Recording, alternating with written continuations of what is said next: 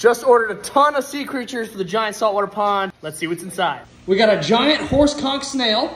We got a Bahama sea star. We got a pencil urchin, and it reminds me of an everlasting gobstopper from Willy Wonka. This is a sea biscuit urchin. Very cool little sea creature right here. Giant hermit crab. He should get much bigger. It's a little baby, but he's eventually to become a giant.